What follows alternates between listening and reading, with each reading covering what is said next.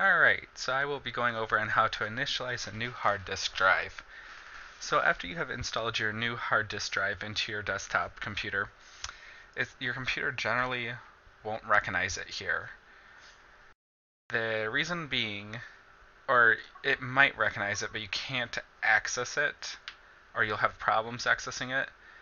And the reason being is because you need to initialize it.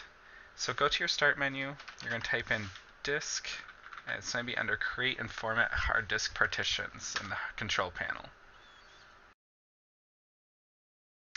This is going to bring up your whole system of hard drives.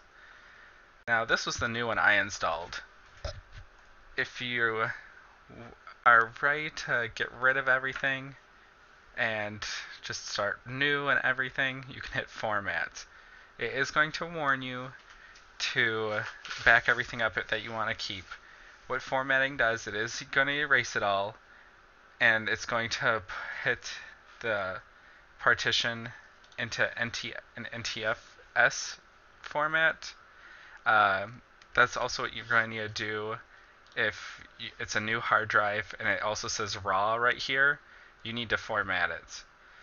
If you do encounter the error that comes up that cannot in a format or it fails, uh, which has happened to me. What I needed to do was restart my computer, um, and that's because the computer still thinks you have the hard drive open. Even if you close the Windows Explorer, it still thinks that it's open. So just restart your computer. Don't open up Windows Explorer, which is this, um, and then format it. Now you will notice that there's a option called mark partition as active.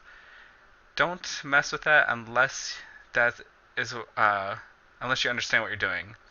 What that is, it means that it's the when your computer boots up, it's going to look for the operating system under that disk partition or that hard drive.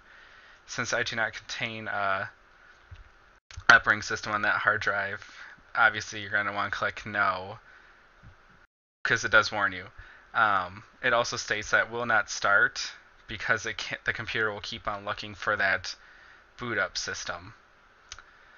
Now you can change your boot up system too on which hard drive to find also, and I will go over that momentarily.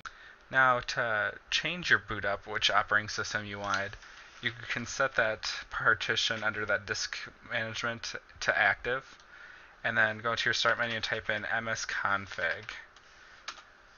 Oops.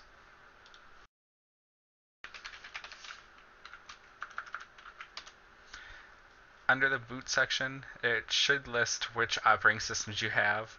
You can select that operating system. If you want that to be your default one, you would select it as default. And so from then on, when your computer boots up, it will boot up that operating system and that is how you initialize your new hard drive, format it, and if you wanted a new boot operating system as default, that's how you do it.